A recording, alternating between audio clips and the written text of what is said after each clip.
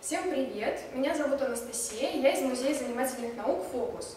Сегодня у нас с вами будет программа, программа «Вода», очень интересная. Нам понадобится э, всего лишь несколько э, предметов, которые есть в каждом доме. Нам понадобится, конечно же, вода, нам понадобятся бутылки, нам понадобятся палочки, красители, э, понадобятся платочки.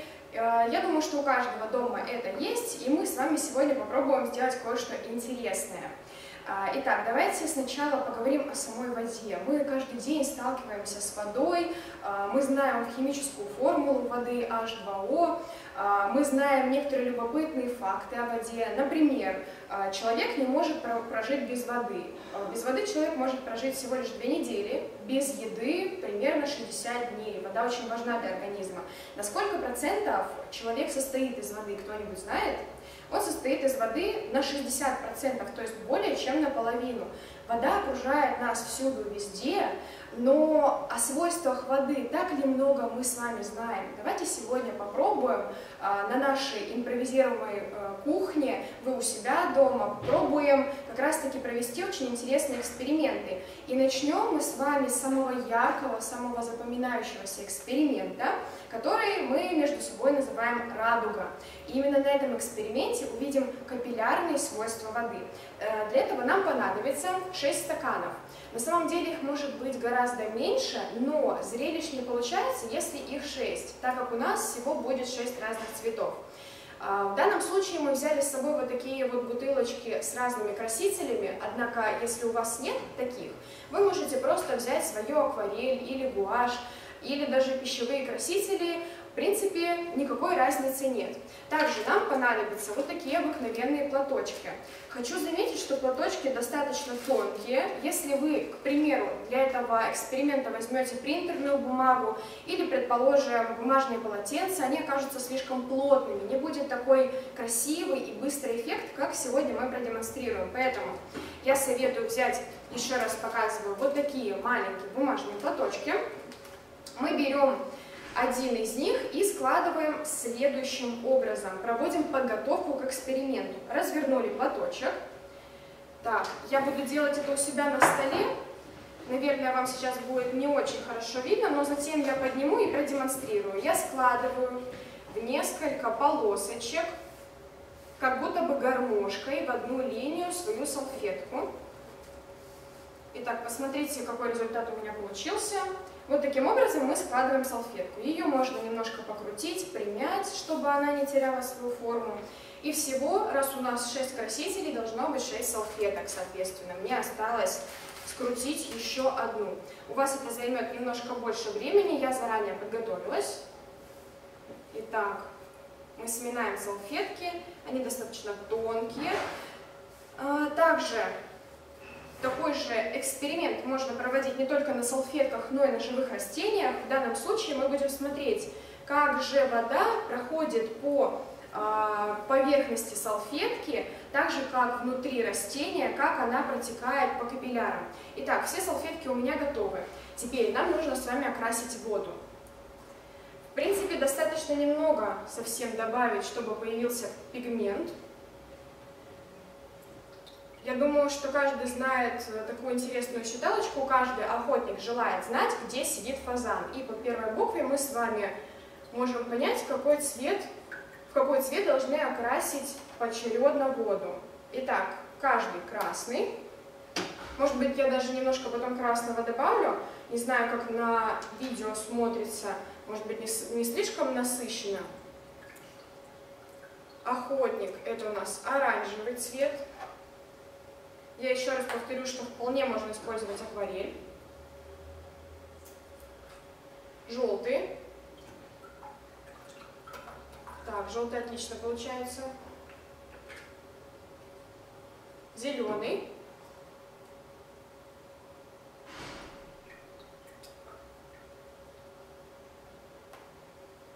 Синий.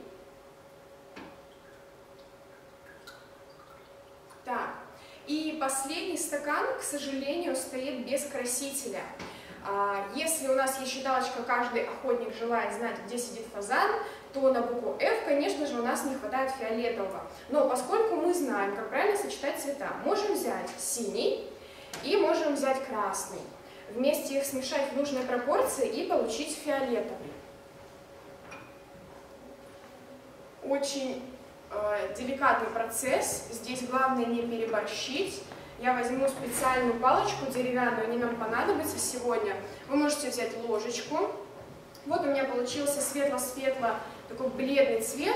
Я добавлю еще немножко. Мы с вами сегодня химичим. Так. Все еще бледно, хочется более насыщенный.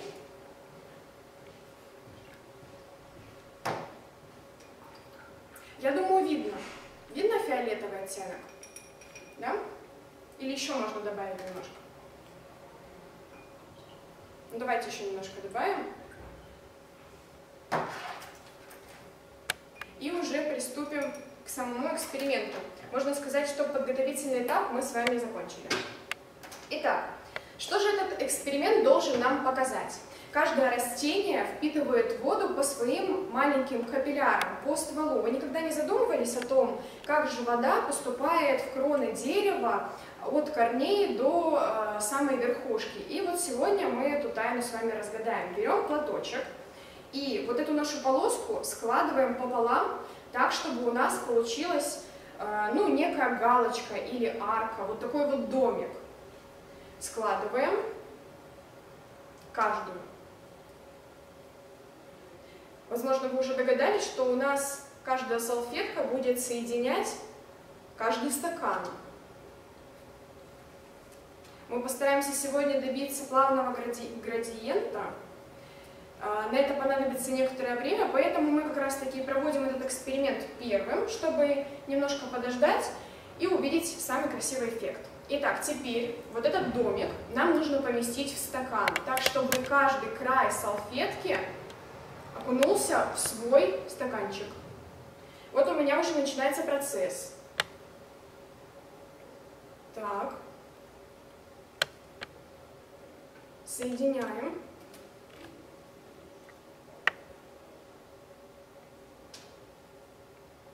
У меня оказалось на одну салфетку больше, я плохо считаю. Что мы с вами видим? На данный момент я замечаю, что краска только-только начала подниматься по салфеткам. Как же это происходит? А, между молекулами воды есть определенные а, притяжения друг к другу, а также между молекулой воды и между молекулой а, капилляра тоже есть притяжение. И чем уже капилляр, тем выше и сильнее поднимается вода по этому капилляру. И вот мы с вами можем наблюдать уже, например, на, самом первом, на самой первой салфетке, как красная вода, красный пигмент уже поднялся на самый верх, вот здесь тоже желтый поднялся, и в процессе перемешивания, диффузии, они примут совершенно неотличимую друг от друга грань, здесь будет э, перелив оттенка, ну мы немножко подождем и потом к этому вернемся, посмотрим, что у нас получилось. А пока что пойдем с вами дальше. Следующий эксперимент, а, само собой, тоже связан у нас с водой, но не только. Я бы хотела вас спросить, знакомо ли вам слово эмульсия? Может быть, вы уже где-то его слышали. Эмульсия – это жидкость, которая состоит из двух других составляющих. В данном случае у нас с вами будет вода и самое обыкновенное масло. У меня в руках подсолнечное масло. Вы можете взять его у мамы на кухне, тихонечко взять у нее вот такую вот воронку и большую бутылку. Принципе, можно взять и бутылку поменьше, у нас сегодня с вами будет много разных бутылок, много разных размеров, но для того, чтобы хорошо продемонстрировать, для того, чтобы было все наглядно и понятно, я беру именно побольше. Итак, давайте мы все смешаем. Мы сегодня с вами экспериментируем. Нальем воду.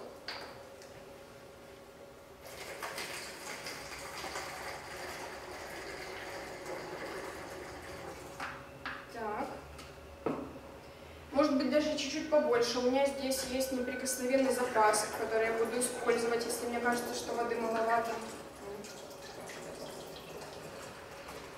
Я предлагаю воду для наглядности все время подкрашивать. Раз уж мы имеем такое многообразие разных оттенков, я предлагаю все-таки подкрасить, ну, например, зеленым. Давайте это будет зеленый оттенок.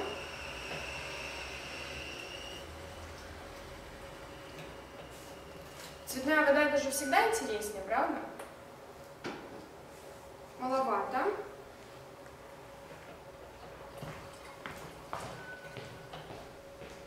Угу.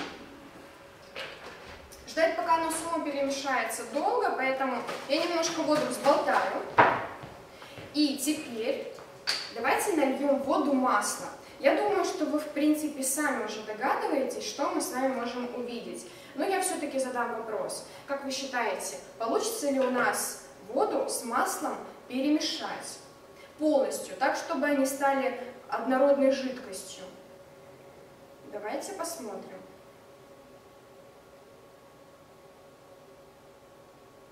Я попрошу чуть крупнее показать мою бутылку. Так.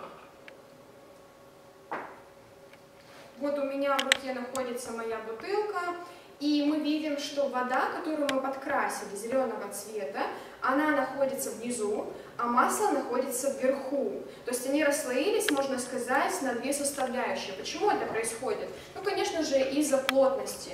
То есть плотность масла ниже, чем плотность воды, и, соответственно, масло всплывает. Где мы можем такое увидеть? Ну, например, мама сварила достаточно жирный суп, предположим, на говядине или на свинине. И на поверхности супа плавают вот такие вот а, маленькие пузыречки жира. Можем ли мы смешать две эти жидкости? Давайте мы не будем от этого отказываться, все-таки попробуем. Но для этого нужно хорошо закрутить бутылку, чтобы у нас ничего не расплескалось, и как следует потрясти. Отрываемся по полной. Так. Посмотрите, а, вода потемнела, да, она стала другого оттенка, то есть более такая белесая, что ли. Мы уже не видим отдельных пузырьков масла, и мы не видим отдельного слоя воды, правильно? Ну, то есть получается, что у нас получилось смешать две эти жидкости. Ну, получается, что так, да?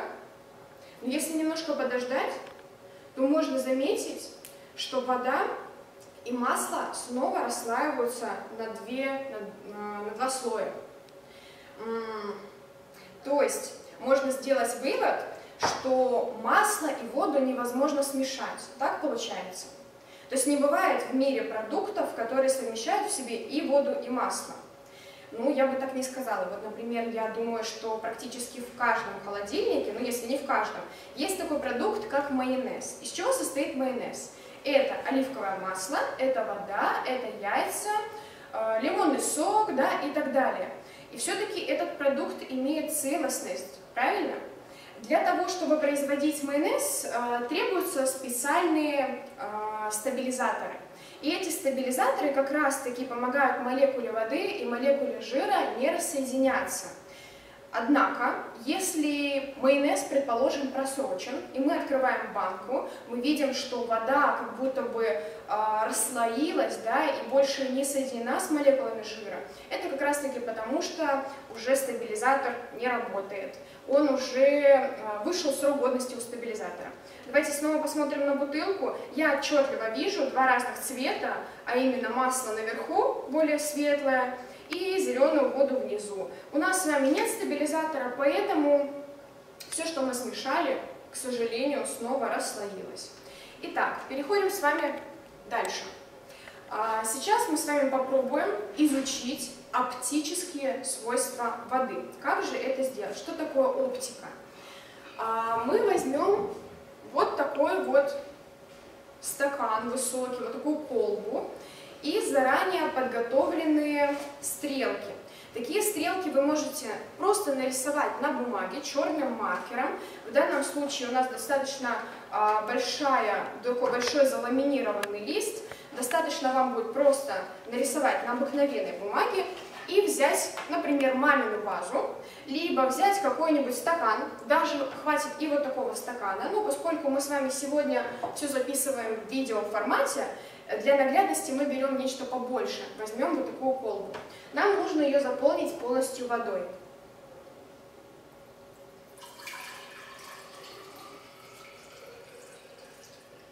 Хотя можем даже заполнить наполовинку. Давайте посмотрим сейчас внимательно на стрелки. В какую сторону они смотрят. Для вас они смотрят э, влево, для меня смотрят вправо. Итак, э, посмотрим на стрелки через колбу. Все ровно так же? Здесь нужно смотреть под определенным углом, для того, чтобы наш фокус получился. Стрелки действительно все еще смотрят влево. Однако, если мы, сейчас мы настроим ракурс, если мы опустим наши стрелки вниз, давайте сейчас найдем нужный угол, потому что здесь очень важен свет и его преломление. Смотрят ли стрелки все еще влево? Не смотрят, да, скорее всего, вправо. Действительно ли стрелки поменяли свое направление? Нет, стрелки остались прежними, но их изображение изменило свое направление как раз-таки из-за того, что через воду, через вот эту круглую вазу свет преломился. Вот такой фокус вы можете показать э, дома у себя на кухне своей семье. Итак, хорошо, с колбой мы разобрались. Теперь у нас будет еще один зрелищный и красочный эксперимент. Он называется водоворот. Для этого нам понадобятся две большие бутылки. Я очень советую вам брать большие, большие бутылки, так как э, на маленьких время проведения эксперимента сильно уменьшается. Итак, ну, конечно же, мы покрасим с вами воду. Цветная вода это всегда интересно. Какой цвет? Давайте в красный. У меня уже есть нужное количество воды, мне ничего доливать не надо. Осталось только добавить краситель. Все, я думаю, хватит. Так, хорошо. Ну что, и мне понадобится вторая бутылка, но не простая. Здесь у меня есть вот такая замысловатая пробка. Даже тяжело ее открутить, чтобы вам продемонстрировать. Внутри этой пробки находится э, отверстие уже, чем отверстие горлышка в бутылке. Вот такую вот пробку на самом деле можно сделать и в домашних условиях. То есть это не какая-то исключительная вещь, которую можно только лишь купить. Вы можете самостоятельно это сделать дома. Например, таким образом. Вот мы сделали своими руками что-то подобное из двух крышечек. Две крышечки мы склеили между собой и между ними просверлили небольшое отверстие. Это то же самое. Итак, мы прикручиваем нашу волшебную пробку к бутылке. Хорошо прикручиваем. Прикручиваем вторую бутылку. И пробуем провести эксперимент. Как вы думаете, если я сейчас переверну эту бутылку, выльется ли вода из одной в другую? Давайте попробуем. Что-то пошло не так. Как вы думаете, что нам нужно сделать? Почему вода не выливается? Подумайте, подумайте. Но я не буду вас долго томить. В бутылке снизу, конечно же, есть воздух. И ему просто некуда деваться. Вода не может залиться в нижнюю бутылку, так как воздух там внутри присутствует. Надо его как-то выпустить. Как бы нам так сделать, чтобы воздух из нижней бутылки попал в верхнюю, а вода из верхней в нижнюю? Просто. Нам нужно всего лишь раскрутить хорошенько раскрутить эту бутылку. Я надеюсь, что вам видно. Внутри находится водоворот. Я еще не один раз повторю, чтобы вы внимательно посмотрели. Не всегда с первого раза получается. Вы можете потренироваться дома. Точно такой же водоворот мы с вами можем увидеть, ну, к примеру, в ванне, когда вода уходит в сливное отверстие. Пробуем еще раз. Переворачиваем и хорошенько раскручиваем. Глядите. То есть посередине появляется маленькое отверстие для того, чтобы воздух выходил из нижней бутылки, а вода сливалась из верхней в нижнюю. Вот такой получается водоворот. Вы можете дома его украсить не только краской, вы можете добавить туда блестки, можете добавить туда интересные пенопластовые маленькие шарики и украсить, разнообразить свой эксперимент.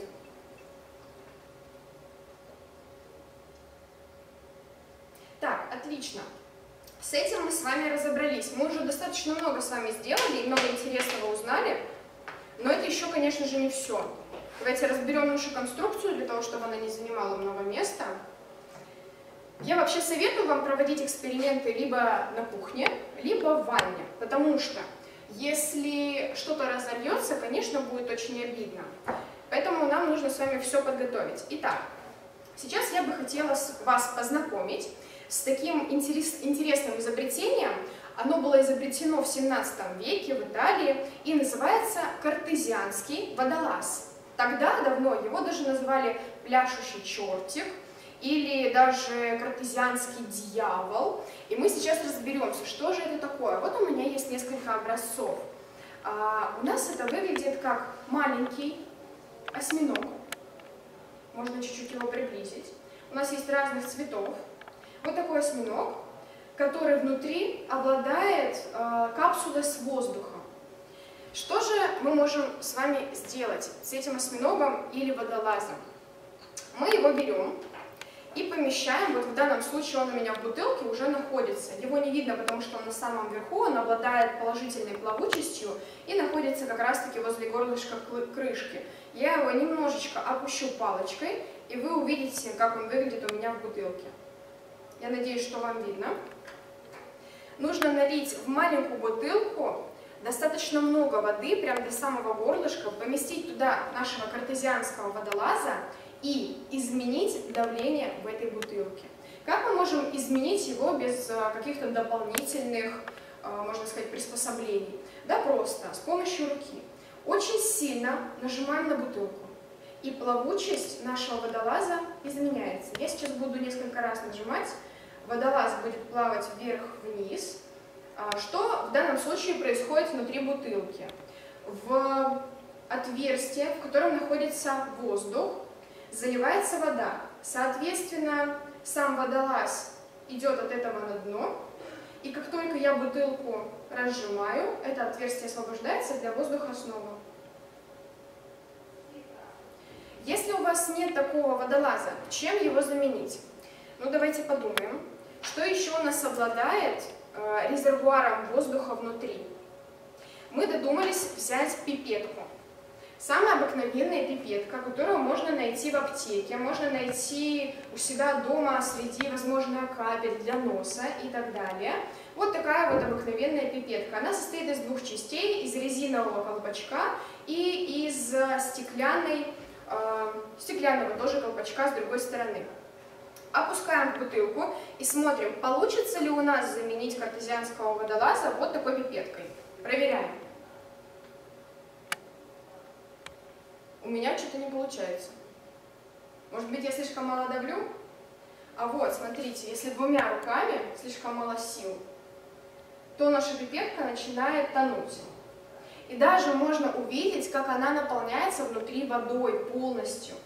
И как только я разжимаю свои руки, снова вода вытекает из этой пипетки. Так, ну что, это тоже можно повторить дома. Наш следующий эксперимент. Нам снова, как это ни странно, понадобится бутылка с водой. Я бы даже еще долила сюда воды. Здесь мы с вами должны проследить поверхностное натяжение воды, свойство воды такое – нам нужно налить достаточно много воды в эту бутылку, столько много воды, чтобы вверху горлышка образовалась э, линза. Я сейчас объясню, как это сделать.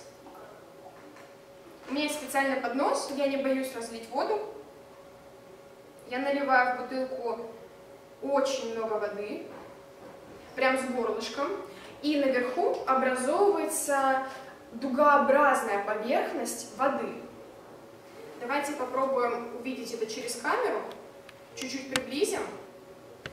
Смотрите, знаете, что это мне напоминает? Мне напоминает э, это капельку росы. Когда проходит дождь, на листьях остаются маленькие капельки росы, и они обладают немножечко круглой формой. Почему это происходит? Капельки и молекулы воды, связанные между собой, э, конечно же, притягиваются друг к другу, и молекулы воды, находящиеся по краям, то есть на поверхности, они обладают более сильным притяжением в центр. И поэтому формируется вот такая вот интересная форма, а, полукруглая. Мы сейчас с вами попробуем сделать кое-что интересное с помощью марли, маленькой резиночки и вот таких обыкновенных деревянных зубочисток. Итак, отматываем марлю. Мне понадобится несколько слоев, я сейчас попытаюсь, если у меня ножницы, посмотрю, скорее всего нет, но я попытаюсь разорвать. Вот у меня все получилось и сложить марлю в несколько раз. Конечно, можно и э, один слой марли использовать,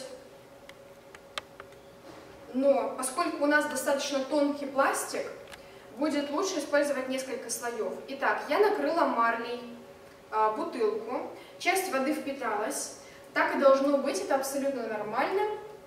Теперь мы подготавливаем нашу резинку, натягиваем марлю и завязываем горлышко так, чтобы марля была полностью натянута на этом горлышке. Так, у меня все получилось. Я надеюсь, что у вас тоже все получилось аккуратно и с первого раза. Ну что ж, а, марля это достаточно неплотный материал, там внутри находится очень много а, отверстий. Давайте попробуем перевернуть эту бутылку и посмотреть, прольется ли вода. Делать это нужно очень аккуратно. Возможно, с первого раза э, получится не очень хорошо, но мы постараемся. Итак, чуть-чуть пролилось.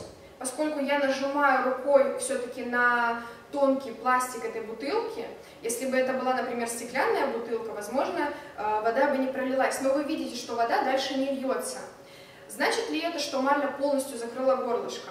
Ну, я бы не сказала. Вот, например, если я сейчас возьму зубочистку и продырявлю эту марлю, смотрите, вода все равно не выливается. Давайте попробуем запустить туда зубочистку. Она даже улетела наверх. Интересно, кто из вас знает, почему зубочистка улетает?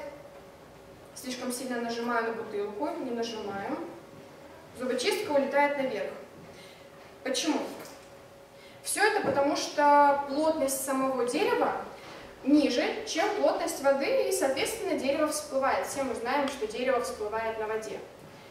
Итак, с этим экспериментом мы с вами заканчиваем и переходим а, к последнему, можно сказать, одному из самых интересных экспериментов. И называется он «Холодное горячее». Для этого мне понадобится кипяченая вода горячая. И немножко вот так вот отставлю поднос и почищу свое рабочее место. Мне понадобится 4 стакана. Они должны быть абсолютно одинаковые. Если вы планируете повторить данный эксперимент, вам нужно найти идентичные 4 стакана. Каждый стакан должен встать ровно на поверхность своего а, другого идентичного стакана.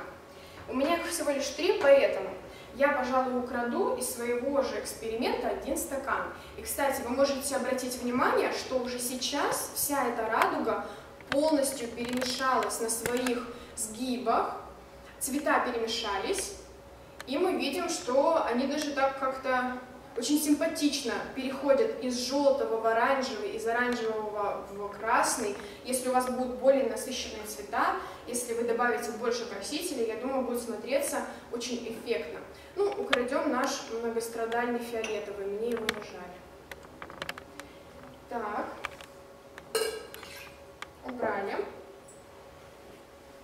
Ну что же, 4 стакана у нас есть.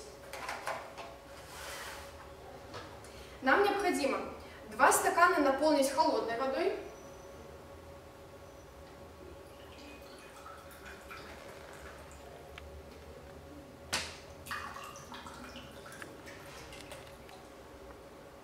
и 2 стакана наполнить достаточно теплой водой, не совсем кипятком.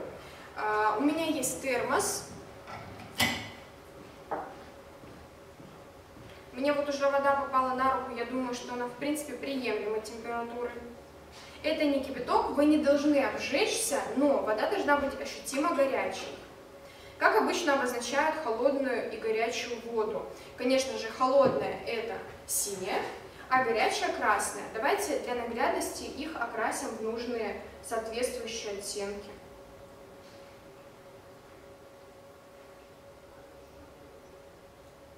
Так, замечательно.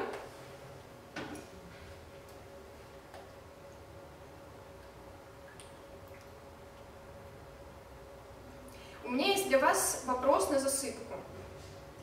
Скажите, пожалуйста, какая вода тяжелее, холодная или горячая? Вот какой из этих стаканов окажется тяжелее? Вроде бы странный вопрос. И здесь вода, и здесь вода. Как может быть что-то тяжелее? Но сегодня мы с вами посмотрим, что разница все-таки присутствует. Я немножко размешаю, чтобы все, весь пигмент равномерно перемешался в воде. Итак, еще для этого эксперимента нам понадобится вот такая вот пластиночка. У меня она вот такого образца. Вы можете такую пластинку сделать своими руками. Например, купить папку для файлов и из обложки этой папки вырезать небольшой прямоугольник. Итак, что мы с вами сейчас будем делать? Давайте попробуем поставить один стакан на второй. Для того, чтобы эксперимент точно получился, нам нужно убедиться, что вода, а, что мы воду налили до предела.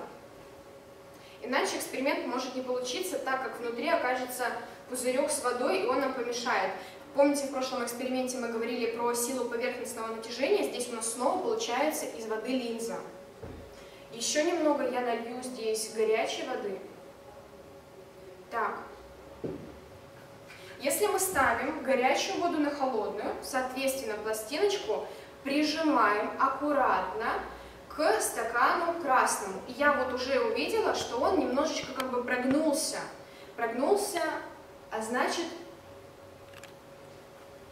а значит уже закрепился на этом стакане. Попробуем перевернуть? Ну, давайте. Видите, у меня все получилось. Теперь наша задача состыковать два этих стакана ровно друг с другом. И, конечно же, брать пластинку. Это очень кропотливый процесс. Здесь нам нужно внимательно, я даже немножко опущусь, чтобы видеть. Можно даже увеличить немного зум, посмотреть, как это выглядит в приближенном варианте.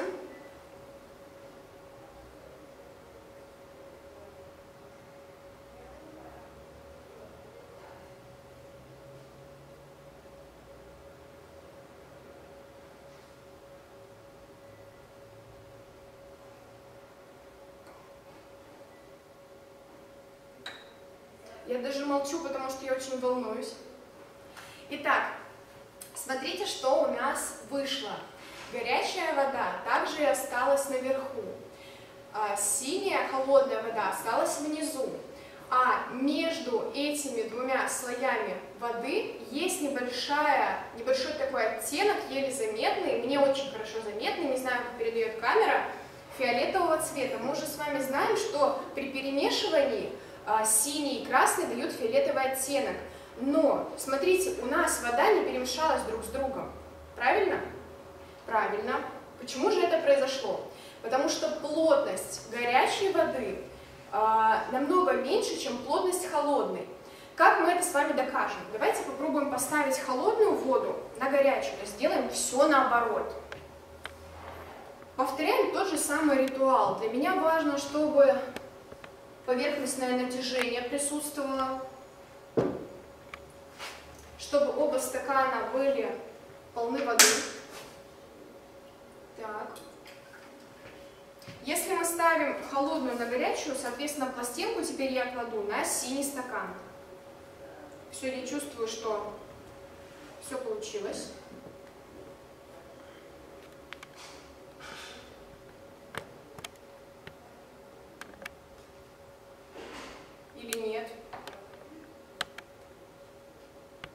Давайте еще раз попробуем. На всякий случай лучше перестраховаться, чем все разлить, правильно? Так, но если вы что-то разольете, это не страшно, вы всегда можете заново повторить.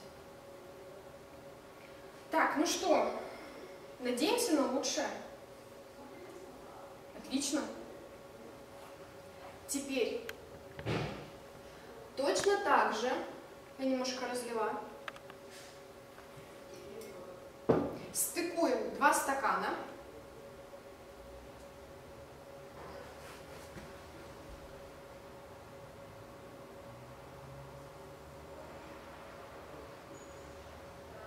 Давайте прежде, чем я уберу пластинку, мы с вами подумаем, что должно произойти. Если холодная вода плотнее и тяжелее, соответственно, она должна опуститься на дно. То есть, если мы с вами все правильно сделали, если мы соблюдаем температурные режимы, все должно правильно произойти. Итак, смотрим.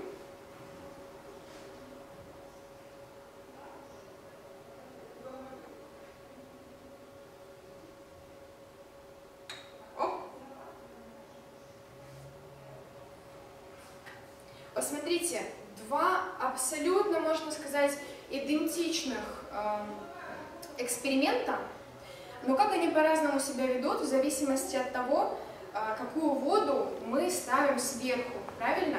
Здесь мы видим, что холодная вода и горячая перемешались все э, в точности так, как и должно было произойти. И это наш с вами самый последний эксперимент – на этом мы с вами закончим. Я надеюсь, что вам понравились те эксперименты, которые мы вам представили, что вы нашли для себя что-то новое, что вы можете провести у себя дома на кухне, удивить свою семью, удивить своих друзей. И мы будем рады э, встретить вас в нашем музее занимательных наук «Фокус». До свидания.